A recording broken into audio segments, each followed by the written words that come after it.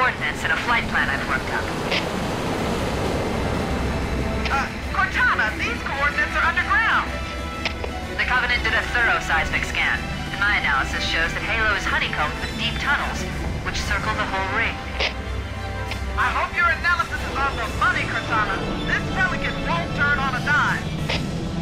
Look on the bright side, Foehammer.